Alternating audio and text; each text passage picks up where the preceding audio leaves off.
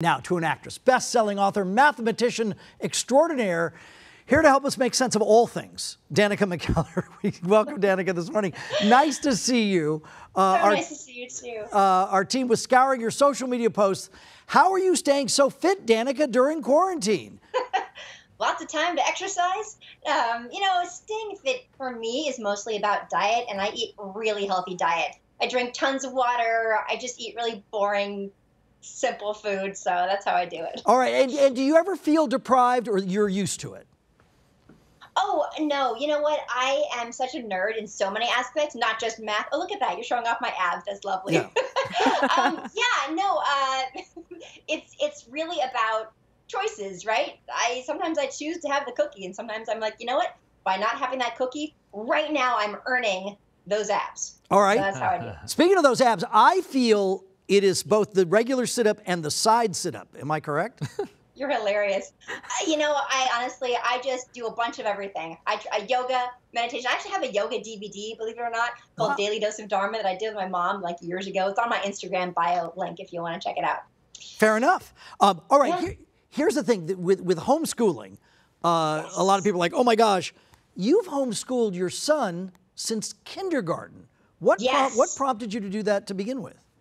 You know, he didn't like preschool, and we tried a bunch of different ones, and he was bored, or he just didn't connect with the teacher. And we're like, well, he's in preschool, we can do this. Uh, and then it just kept working, and just kept having fun. And he's in tons of sports, so he's always with kids and play dates, and, uh, and, and so that part's not an issue we're kind of taking it year by year. But I will tell you, when this pandemic hit and everybody was sent home, so many calls, so many texts. Oh my gosh, Danica, how have you been doing this? Can you help me? What? I, of course, I've been writing math books, as you know, for many years, and I've got books at McKellarMath.com now for ages zero through 16, and it's been helping tons of parents.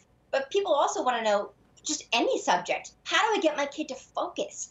And and I got so many requests like that that on my Instagram bio, on the link, you'll see that, oh, not on the link, um, on the circles, like the highlights, one of them is called School at Home. And I, I did a series of videos, uh, tons of tips and tricks that I've learned along the way. My son Draco actually acted some of them out with me. One quick one I'll share now is like, for example, if your son, your child is having a hard time focusing, bring a stuffed animal out. Normally I say no toys in the area, but bring a stuffed animal out that he or she loves and say, will you explain it to to this little guy. Uh, so Draco loves this little seal called Flappy, and I'll bring Flappy out, and I'll have Flappy say, "I don't understand this. What's going on?" And suddenly Draco will sit up straighter and like he'll start explaining it. It's really sweet. So there are a ton of things like that that um, that I've created. But of course, as you know, making math fun is my jam.